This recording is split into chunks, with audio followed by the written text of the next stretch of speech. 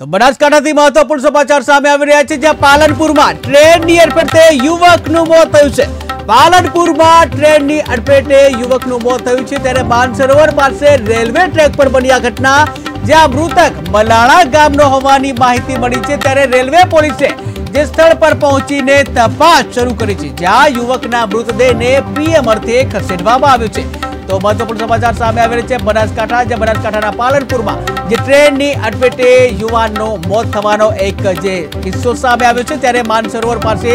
railway track પર આ ઘટના બની છે જ્યાં મૃતક મલાણા ગામનો હોવાની માહિતી સામે આવી છે ત્યારે રેલવે પોલીસે સ્થળ ઉપર પહોંચીને તપાસનો જે ધમધમાટ શરૂ કર્યો છે જ્યાં યુવકના મૃતદેહને પીએમ અર્થે ખસેડવામાં આવ્યો છે ત્યારે આખરે આ યુવક જે છે કેવી રીતે મતલબ કે આત્મહત્યા કરી છે કે પછી અકસ્માતે મોત થયું છે એ પણ તપાસનો વિષય છે ત્યારે હાલ તો પાલનપુરમાં જે ટ્રેનની અડફેટે જે યુવકનું મોત નીપજવાના જે સમાચાર સામે આવી રહ્યા છે ત્યાં માનસરોવર પાસે રેલવે ટ્રેક છે માનસરોવર પાસેના રેલવે ટ્રેક પાસે આ બનાવ બનવા પામ્યો છે ત્યારે મૃતક જે છે મૃતક બલાળા ગામનો હોવાની પ્રાથમિક માહિતી છે જ્યારે રેલવે પોલીસે સ્થળ ઉપર પહોંચીને તપાસ શરૂ કરી છે ત્યારે યુવકના મૃતદેહને પીએમ અર્થે ખસેડવામાં આવ્યો